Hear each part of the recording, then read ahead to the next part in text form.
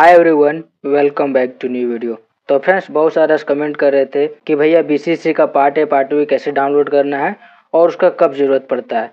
तो देखिए फ्रेंड्स बहुत सारे स्टूडेंट चेक कर रहे होंगे तो रजिस्ट्रेशन क्लोज दिखा रहा होगा और बहुत सारे डाउनलोड करने में प्रॉब्लम फेस कर रहे होंगे। तो चलिए मैं बताऊँगा किस लिंक पे क्लिक करना है और उसका लिंक मैं डिस्क्रिप्शन में भी दे दूँगा और बताऊँगा उसका क्या यूज़ है। तो देखिए फ्रेंड्स जैसे बीसीसी की वेबसाइट पे आएँगे तो फ्रेंड्स, अभी देखिए यहाँ ऑनलाइन अप्लीकेशन पोर्टल और B C C twenty twenty इस पर क्लिक कीजिएगा। वैसे इसका लिंक मैं डिस्क्रिप्शन में दे दूँगा, वहाँ से डायरेक्ट जा करके एक्सेस कर सकते हैं। उसके फ्रेंड्स नेक्स्ट पेज पे आएँगे तो यहाँ पे स्टूडेंट टेंशन में है कि रजिस्ट्रेशन क्लोज हो गया है तो क्या करें? रजिस्ट्रेशन क्लोज हो गया, फ्रेंड्स, इसका मतलब है कि आप रजिस्ट्रेशन कर चुके हैं, आपका एग्ज़ाम भी हो गया, इसमें आपको कुछ टेंशन लेने की ज़रूरत नहीं है।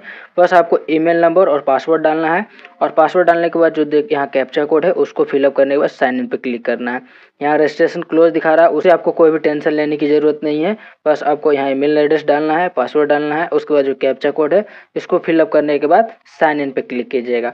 उसके बाद फ्रेंड, जैसे ही साइन इन करेंगे, उसके बाद इस तरह से आएगा your application form is complete इसका मतलब जब आप रजिस्ट्रेशन किए थे बीसीसी एग्ज़ाम के लिए वो डिटेल यहाँ दिखा रहा है। तो उसी का पार्ट ए पार्ट भी आपको लगेगा जब एडमिशन कराने जाएँगे, जब आपका सीट अलॉटमेंट हो जाएगा। तो यहाँ आएँगे फ्रेंड्स तो देखिए, यहाँ लिखा हुआ है एप्लीकेशन फॉर्म हार्ड कॉपी इस पर क्लिक करके आप डाउनलोड करेंगे। इस पर क्लिक करेंगे तो दो पेज का पीडीएफ डाउनलोड होगा। एक में लिखा रहेगा पार्ट ए और दूसरे में लिखा रहेगा पार्ट बी फ्रेंड्स इसको कब ले जाना है? जब आपका सीट अलॉटमेंट हो जाएगा। सीट अलॉटमेंट आने के बाद कॉलेज में डॉक्यूमेंट वेरिफिकेशन के लिए जाना होगा।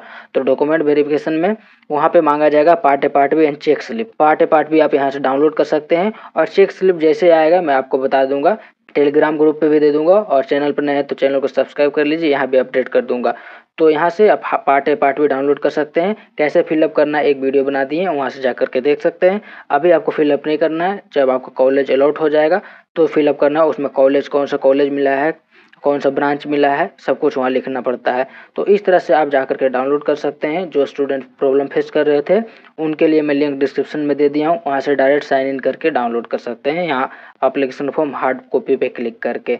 तो फ्रेंड्स मिलते हैं नेक्स्ट वीडियो में। बाकी कोई भी डाउट होगा तो कमेंट कीजिएगा। Thank you.